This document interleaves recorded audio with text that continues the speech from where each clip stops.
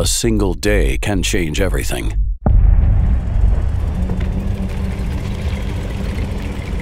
One fall day in 1940, we knew Britain was impregnable, protected by the sea, and defended by brave souls on every clifftop. 24 hours later, all we could do was watch as the German forces took the coast and drove their tanks into the heart of the nation. When the blockade began in 1948, we thought the people of West Berlin would be safe. But the Soviets had other ideas. One December day is all it took for the fragile peace to shatter.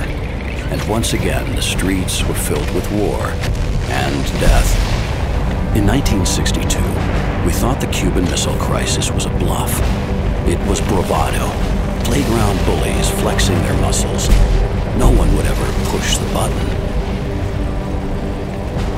Then one day in October that year, someone did push it.